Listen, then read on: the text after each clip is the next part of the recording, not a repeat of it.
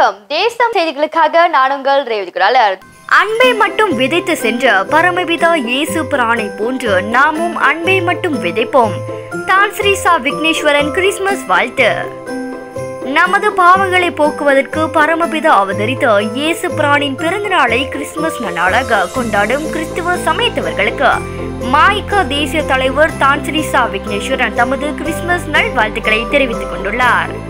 Christmas தினம் இயேசு பிறந்தநாள் மட்டுமின்றி ஒரு புதிய நம்பிக்கையோடு புதிய ஆண்டுக்குள் அனைவரும் சிறந்து வளர்ந்தோங்க வேண்டும் என்ற ஒரே சிந்தனையுடன் நுழைய வேண்டும் என்று மகிழ்ச்சியோடும் துதிப்பாடல்களை பாடி உணவு உண்டுகளிக்கும் ஒரு தினமாகும் என்று தான் ஸ்ரீ விக்னேஸ்வரன் சொன்னார். காலங்கள் எவ்வளவு கடினமாக இருந்தாலும் உறவினர்கள் நண்பர்கள் உற்றார் உறவினர்களுக்கு நன்றியும் வாழ்த்தும் கூறுவதோடு அவர்களை மகிழ்ச்சிப்படுத்தும் ஒரு நன்னாளாக இருந்து வருகிறது.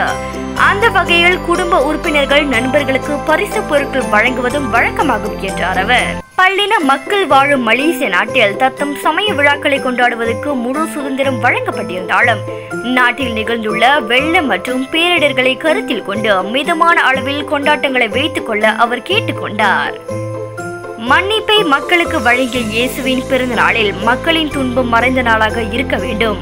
அன்பை மட்டும் விதைத்து சென்ற இயேசுவை போன்று நாமும் அன்பை விதைத்து மனதை தூய்மையாக வைத்திருப்போம் என்று கூறிய தான் ஸ்ரீ சா விக்னேஸ்வரன் மீண்டும் அனைவருக்கும் கிறிஸ்துமஸ் நல் வாழ்த்துக்களை தெரிவித்துக் கொண்டார். இத்துடன் இன்றைய செய்திகள் நிறைவடைகின்றன. உங்களிடமிருந்து விடைபெறுவது நான் உங்கள் ரேவதி மேலும் பல அண்மைய செய்திகளை தெரிந்து கொள்ள தேசம் டிவி மலேசியா யூடியூப் டிக்டாக் மற்றும் இதர சமூக வலைத்தளங்களை பின்தொடருங்கள்.